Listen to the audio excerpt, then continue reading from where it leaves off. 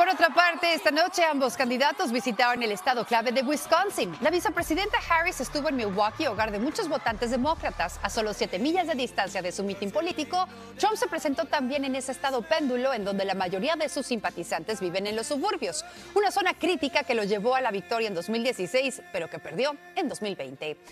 Por otra parte, la oficina del fiscal general de Arizona analiza esta noche si los comentarios que hizo Trump contra la ex representante republicana Liz Cheney durante una conversación con el presentador Tucker Carlson violan la ley del Estado. Y es que Trump sugirió que Cheney se acobardaría frente a un pelotón de fusilamiento. Comentarios que además redobló esta noche desde Michigan.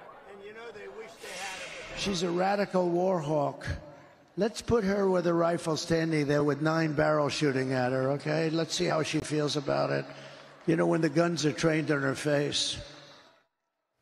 Por su parte, en su cuenta de ex, la excongresista dijo que así es como los dictadores destruyen a las naciones libres, amenazando de muerte a aquellos que hablan en su contra. Y es que Liz Cheney respalda a la vicepresidenta Harris, quien, por cierto, al aterrizar esta tarde en Michigan, no dudó en condenar los comentarios de Trump diciendo lo siguiente: la lista de enemigos de Trump se ha ampliado, su retórica se ha vuelto más extrema y ahora está menos centrado que antes en las necesidades, preocupaciones y desafíos que enfrenta el pueblo estadounidense.